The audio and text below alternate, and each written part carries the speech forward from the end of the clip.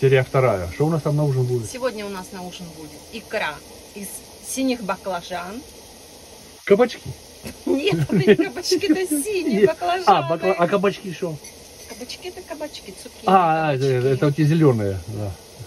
А как, как- а, а как оно называется еще? Синие Синие баклажаны. баклажаны. Я забыл. Вот. Я вам покажу, что это такое. Пюре, Пюре из торт баклажана. печеночный и оливье. Торт печеночный.